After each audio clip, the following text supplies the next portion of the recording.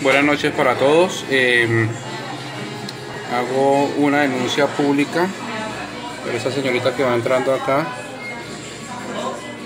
Tiene un lunar eh, al lado del ojo. Entra con ese otro personaje. Tengan mucho cuidado. Ellos lo que están haciendo en estos momentos es el famoso cambiazo.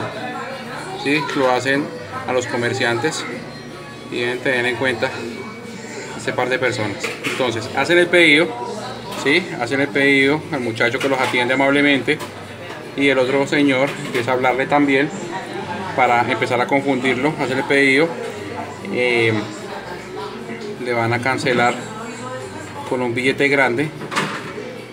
¿Cuál es la idea? La idea es que ellos eh, paguen con ese billete para que el muchacho le pida eh, monedas 200 o 300 pesos si tiene pronto para poderle completar el billete.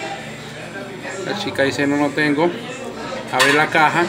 Entonces ella aprovecha el momento que abre la caja y automáticamente le pide el billete y le dice sí, sí los tengo. Ella guarda el billete, así como se puede apreciar en el video. Ella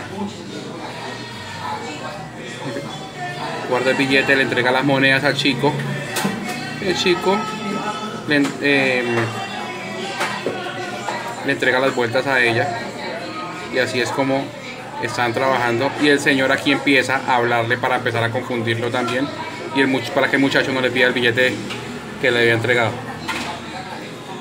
Entonces eso pasó aquí en el municipio de Guamal. Entonces para que lo tengan en cuenta por favor lo compartan. Y para que no caigan en, ese, en esa modalidad